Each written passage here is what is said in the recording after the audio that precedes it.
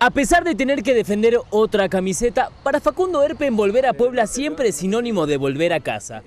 En el breve tiempo en donde el argentino defendió los colores de la franja, la situación vivida de luchar para no caer en el abismo y el compromiso que tuvo con el equipo poblano hizo que la afición camotera recuerde a este pilar de aquella hazaña. Bueno, que viniendo a la ciudad, eh, eh, miren, recuerdo, ¿no? Eh, muy lindos. Y algunos no, porque hasta el último momento eh, estaba la salvación ahí a, pendiente y lo hicimos en, en Santos, en Torreón, un, un, rival que después de ese partido eh, sale campeón. Lo primero que viene a la memoria de Facundo al volver a Puebla es ese infierno vivido en Torreón, donde Puebla estuvo 14 minutos descendido en la primera división.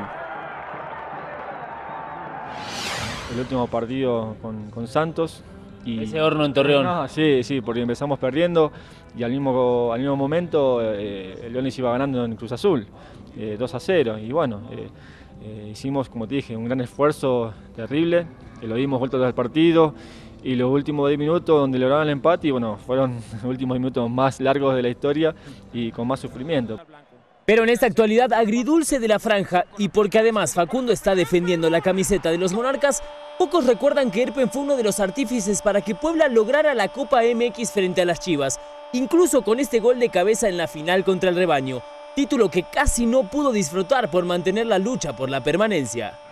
Como que bueno, ahora se puede empezar a celebrar ese campeonato de Copa que había quedado de lado porque no lo celebraron casi. No, no se podía porque ganábamos el, el, el campeonato y y después fuimos a jugar de vuelta, creo que fue con, con Leones, me parece, no me acuerdo bien, pero no, no pudimos disfrutarlos porque eh, estábamos ahí mano a mano con, con, Leones, porque ya Chivas había sacado una diferencia, Veracruz hizo un gran torneo que llevó a Liguilla, no, ya le había también sacado una diferencia y era mano a mano con ellos.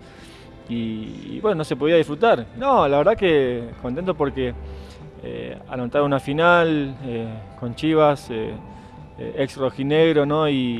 Y es que ese gol también sume a, a, a salir campeón, que es la, la, mejor anécdota que te puedo contar, la verdad. Esté bien con todos, ¿no? Sí, con Atlas. Con Atlas, con nosotros en ese entonces Puebla, porque la verdad que eh, había un grupo espectacular, o sea, muy, muy humano y, y, y eso es lo que no, nos unió y nos, nos sirvió para todo. Eso sí, seguramente, y aunque ya en otras latitudes, tanto Facundo Erpen como los camoteros ahora sí pueden disfrutar de esta Copa MX que ya parece lejana en la memoria, pero que no se levantó mucho tiempo atrás. Con imágenes de Antonio Pineda, Mauricio Notable, Azteca Deportes.